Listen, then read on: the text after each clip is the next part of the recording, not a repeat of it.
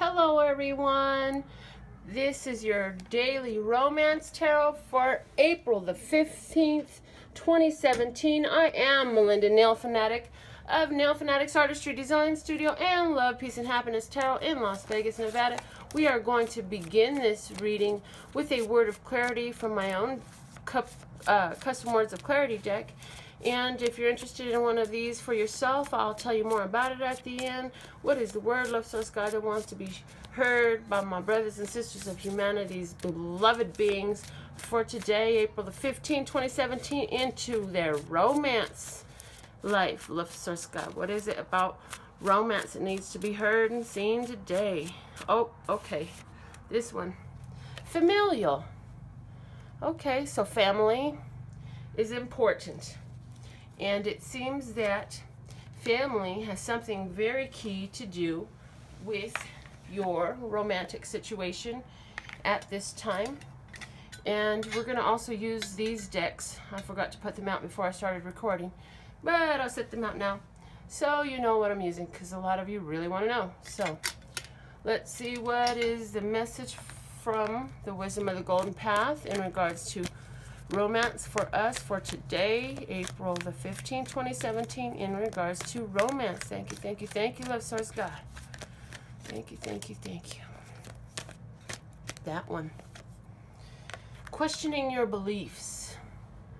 I immediately heard, do you believe that you can have a family and romance? Do you believe that? And then I also heard, don't you know that family comes out of romance? Wow. So romance and family actually really does go hand in hand. What is the tarot message that goes with this for us today, love source God? Thank you, thank you, thank you. I feel that somebody's uh, in a similar situation to mine and just having a hard time trying to figure out if they can um, even entertain romance because when I say similar situation to mine, I have a house full of children. So for some of you, that's an issue.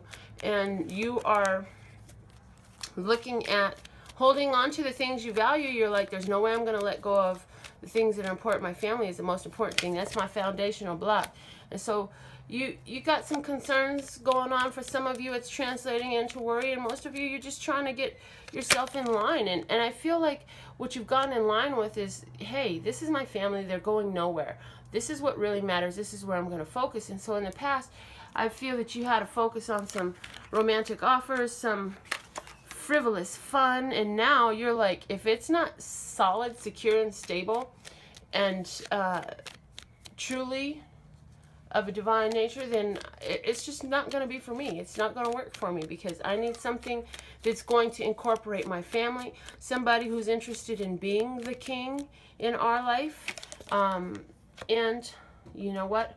I am ready for a new start.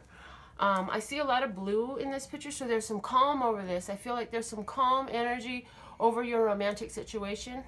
And I feel that if you're involved with a uh, water sign, Cancer, Scorpio, or Pisces, you're going to be looking at, um, and maybe even it was in the past that you were involved, maybe you're involved presently, but I feel like you're really going to be looking at some of your core beliefs and how they affect um, this new opportunity that you're moving into and the new relationship that you want to have. And you're really, I feel, getting great clarity today on how you want this new relationship to go in your behalf and how you want it to play out. And as you see little hands dancing across the screen there, you see exactly what I'm talking about and you understand what I'm talking about. But I'm here to tell you, children come out of romance. And honey, if it's the right romance, then your children are going to be okay huh, Quentin? They should not question their beliefs about it.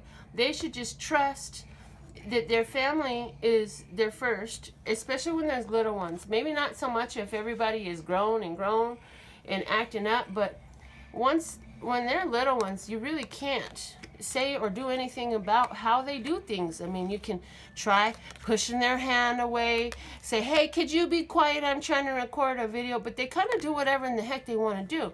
And they keep going for whatever they want to go for. And so if you're bringing somebody in, I feel like those are things that you've taken in consideration because I am getting that somebody out there you are going to have a fresh start with a water sign that you may have dealt with before and I feel like this water sign has matured and grown since y'all dealt with each other before. So this is your daily romance tarot.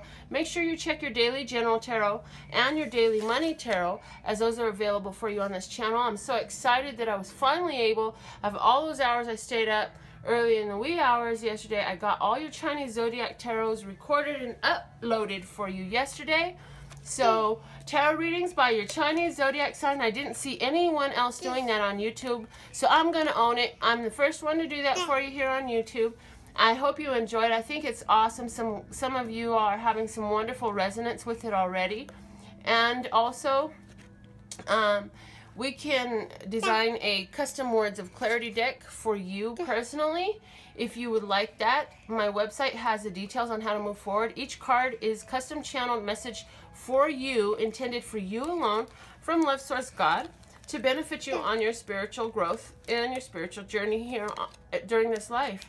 And if I can do a personal reading for you, uh, my website also has the details on that work that I do by donation only. And so you can go to my website, which is www.lphtarot.com. That's lphtarot.com, as in love, peace, and happiness to you and yours, and of course, me and mine. Until next time.